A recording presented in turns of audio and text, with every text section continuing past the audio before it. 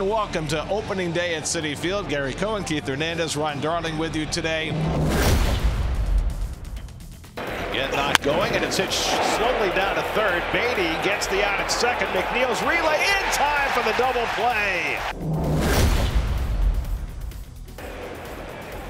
That's driven toward left field. Back goes Yelich near the wall. It's off the top of the fence. Marte digging for second. He's in standing with the Mets' first hit of the year. And now they're saying it's a home run. Ball cleared the wall in left field beyond the orange line. Marte with a home run. And the Mets have a 1-0 lead. Opening day start. Now it's hit out to right field, chasing Marte back, and it's out of here. Yelich just clears the wall with a home run to tie the game.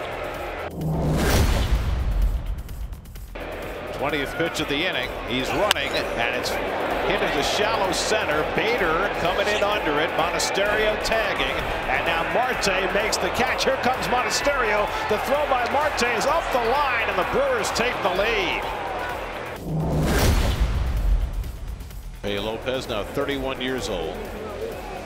And that's a double play ball. McNeil with the flip. The turn by Lindor not in time. Chourio too much speed. Beat it out as the run comes home to make it 3 to 1 Milwaukee.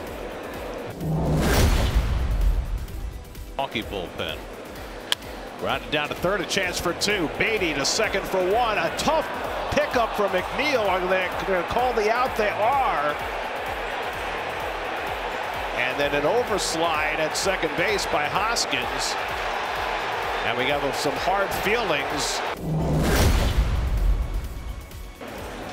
And a ground ball right at the shortstop, and Adames is there.